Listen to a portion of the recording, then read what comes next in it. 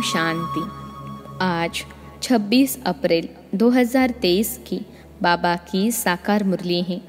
मुरली के महावाक्य हैं, मीठे बच्चे, तुम्हारा कर्तव्य है अविनाशी ज्ञान रत्नों की कमाई करना और कराना। दान पूछकर नहीं किया जाता, करके दिखाना है। प्रश्न है, बाप के दिल में कौन से शुभ आश सदा रहती है? किस बात में बाप आप समान बनाने चाहते हैं। उत्तर है, बाप के दिल में सदा ही बच्चों को सुख देने की आश रहती है। बेहद के बाप को कभी भी विकल्प व बुरा कर्म करने का संकल्प, दुख देने का संकल्प नहीं आ सकता, क्योंकि वह है सुखदाता।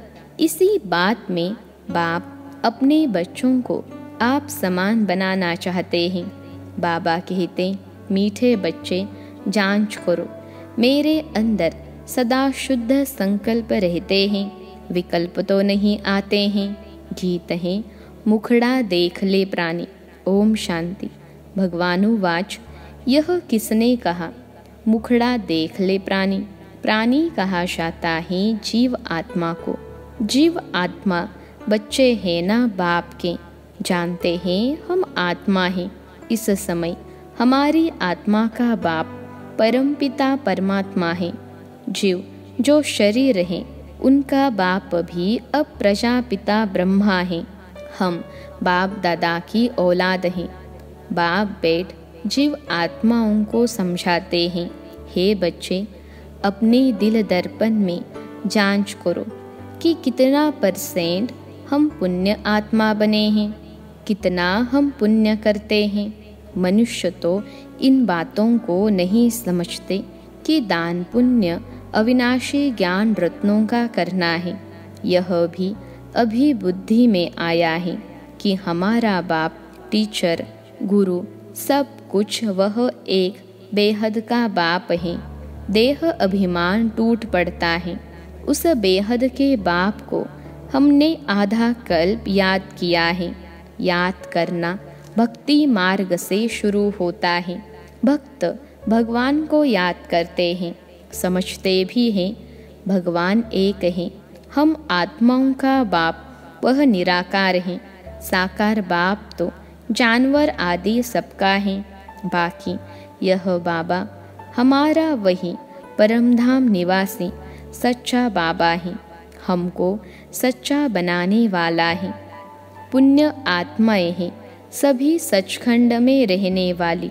तुम जानते हो, जितना बाप के साथ हम सच्चे रहेंगे, उतना बाप के सचखंड में हमको ऊंच पद मिलेगा। इसके लिए रेस है। उस पढ़ाई से भी कोई बैरिस्टर बनता, कोई इंजीनियर बनता, कोई पक्का, कोई कच्चा, कोई की आमदनी लाख रुपया तो कोई की पाँच सौ रुपया भी मुश्किल। पढ़ाई पर मदार ठहराना अब तुम बच्चे अविनाशी ज्ञान रत्नों से भंडारा भरते हो, जो कि काम आना है। धारणा कर पुण्य आत्मा बनना है। औरों को भी दान दे, पुण्य आत्मा बनाना है। दिल से पूछना है, हम कितना धारण कर और पुण्य करते हैं। अगर पुण्य नहीं करते तो ज़रूर पाप आत्मा ही रहे जाते। तो अपना मुखड़ा देखना है। पीछाड़ी में बैठने वाले को तो मास्टर भी जानता है, बाप भी जानता है। रजिस्टर से पता लग जाता है, अब वह तो हुई स्थूल बातें। यह ही गुप्त। मम्मा बाबा धारणा कराते रहते हैं। अविनाशी ज्ञान रत्नों को धारण करो और कराओ। खुद ही पुण्य आत्मा नहीं बनेंगे तो औरों को कैसे बनाएँगे? यह कोई दुनियावी बातें नहीं, यह तो है ईश्वरीय बातें। जितना जो साहूकार होता है, उतना उनको खुशी का पारा चढ़ता है। धन तो मनुष्यों के पास बहुत है ना? अखबार में भी डालते हैं। इस समय फलाना सबसे साहूकार हैं। नंबर वार तो होते ही है ना। यहाँ तो विनाशी धन की बात नहीं। यहाँ है अविनाशी ज्ञान रत्नों की कमाई करना और कराना। इसमें पूछने की बात नहीं रहती। पूछकर दान नहीं किया जाता। करके दिखाना है। बाप कहते हैं दिल दर्पण में देखो, हम कितने पुण्य आत्मा बने हैं। हम सब नंबर वन पाप आत्मा थे, पुण्य आत्मा भी नंबर वन थे। अब फिर ज्ञान का तीसरा नेत्र मिला है, पुण्य आत्मा बन रहे हैं।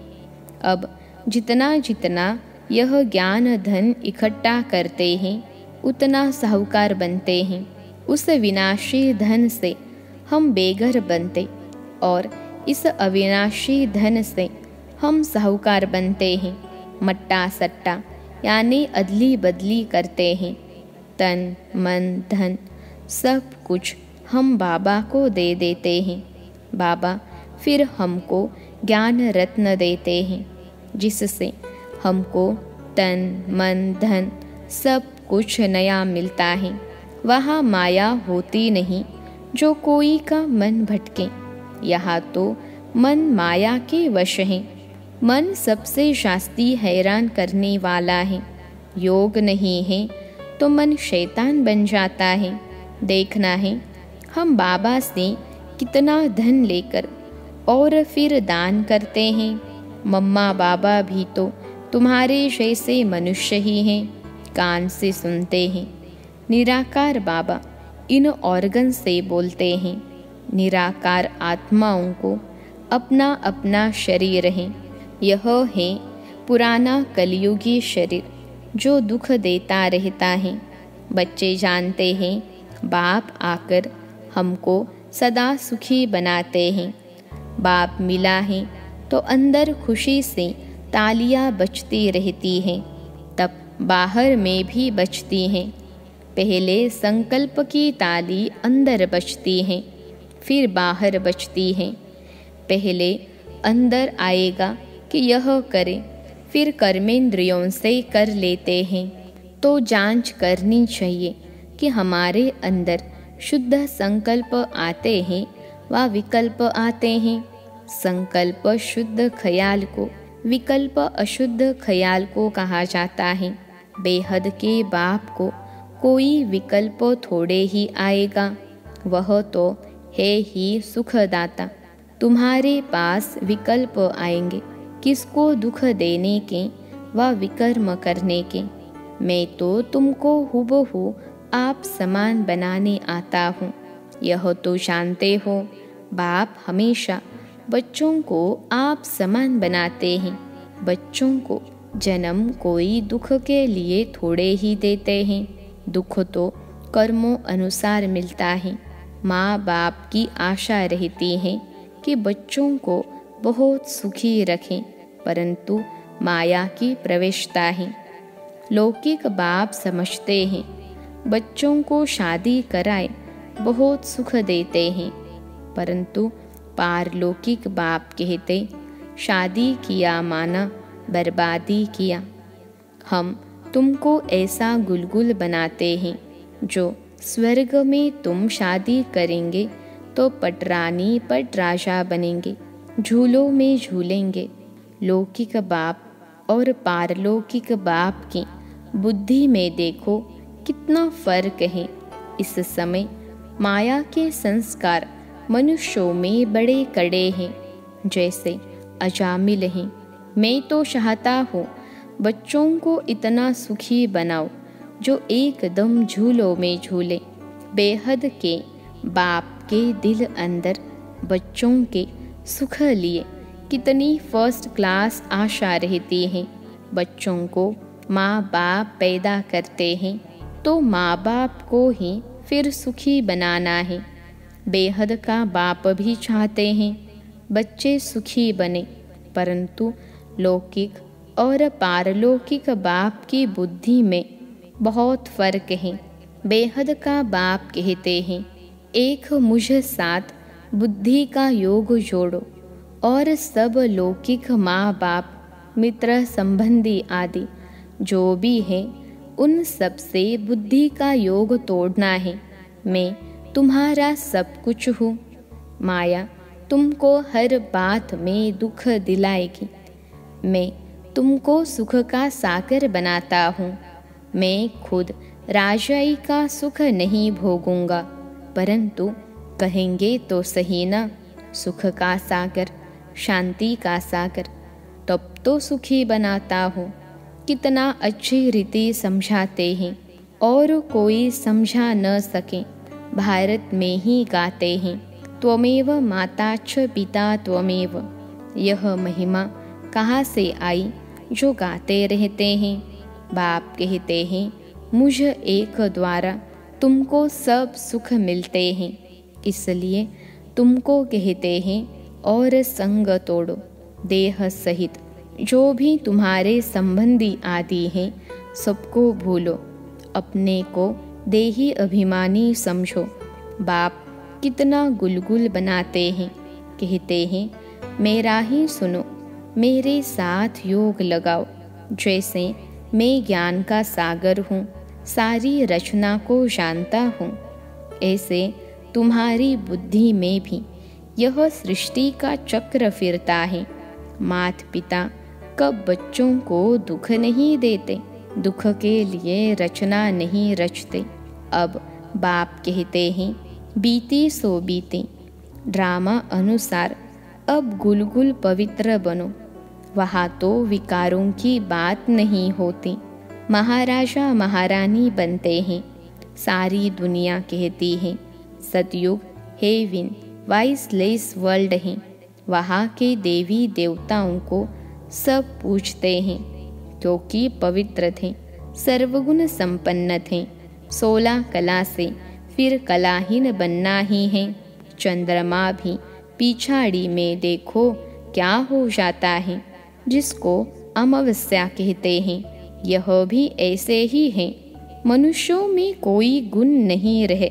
मनुष्यों में कोई गुण नहीं रहा है। सोलह कला तो क्या? एक कला भी नहीं रही है। एक कला भी न रहने से इसको घोर अंधियारा कहा जाता है। फिर कलाएँ आते आते सोलह कला बन जाएँगे। अभी तुम कलाहीन काले बन पड़े हो। ब्रह्मा की अंधियारी रात कही जाती है। ब्रह्मा को प्रजापिता कहा जाता है। तुम कहलाते हो।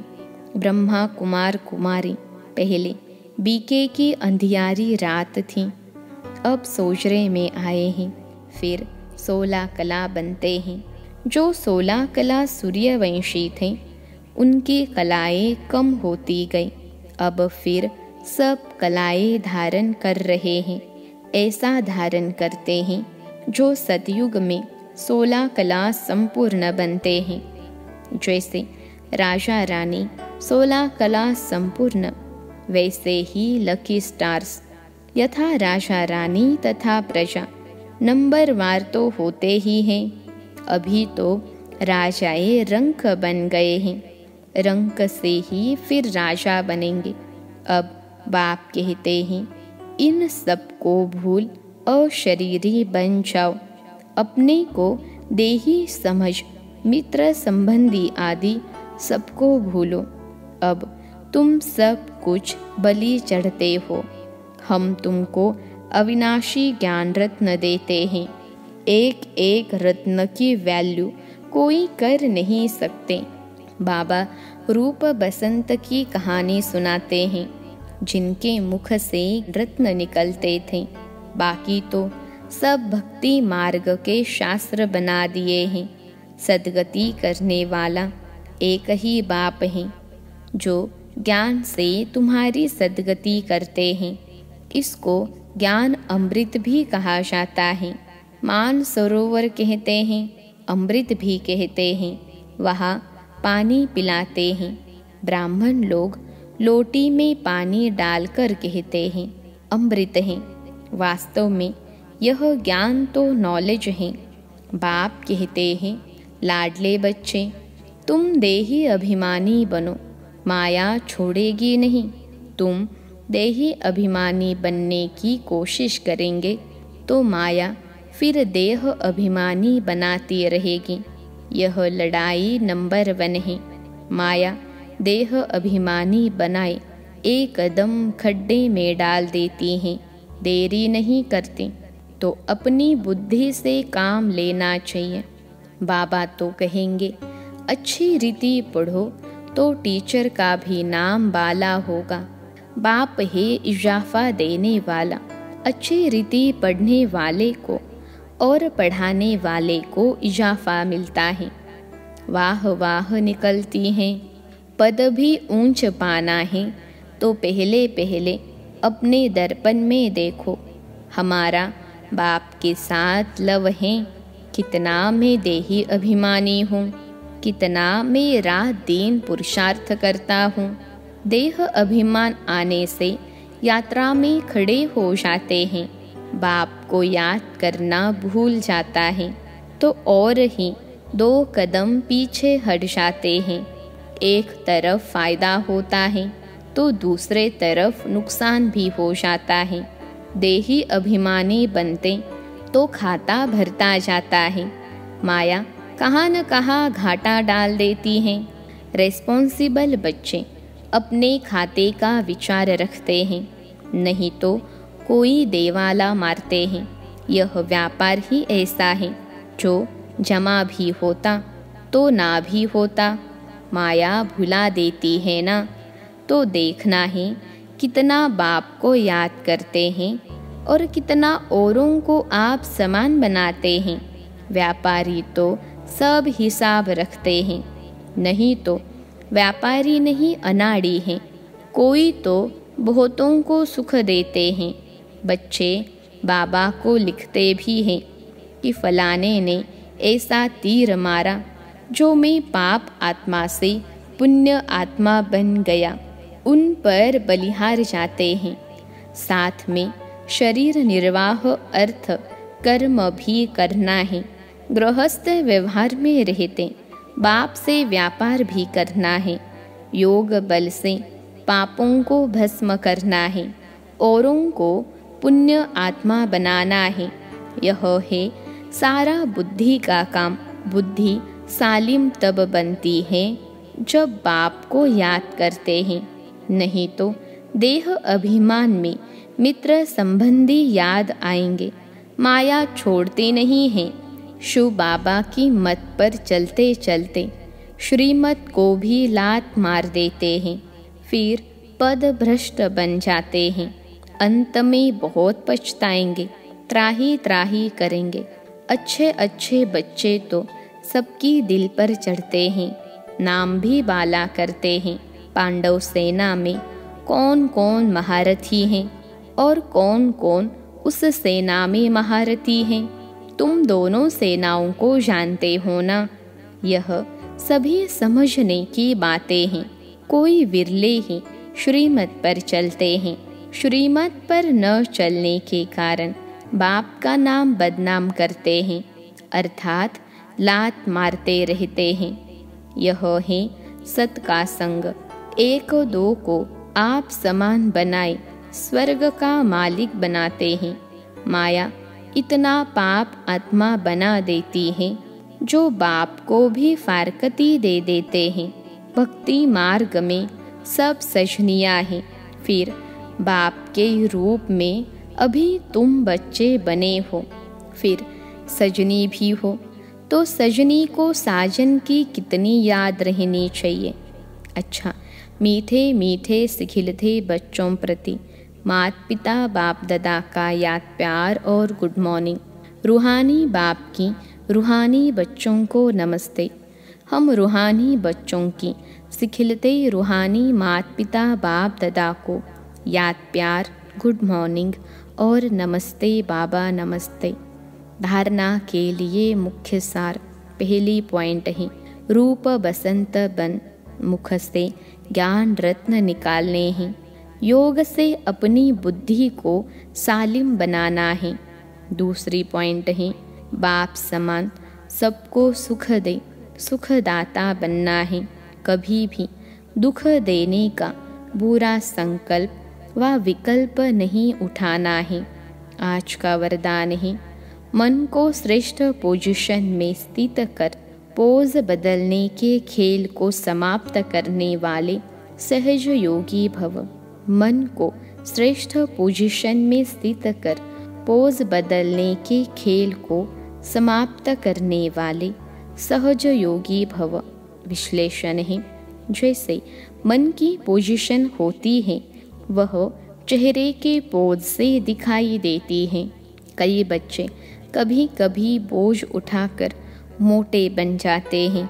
कभी बहुत सोचने के संस्कार के कारण अंदर से भी लंबे हो जाते हैं और कभी दिल शिकस्त होने के कारण अपने को बहुत छोटा देखते हैं।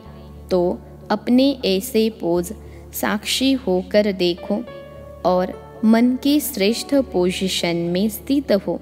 ऐसे भिन्न भिन्न पोज परिवर्तन करो। तब कहेंगे, सहज योगी, आज का स्लोगन है, खुशियों के खान की अधिकारी आत्मा। सदा खुशी में रहती और खुशी बांटती है।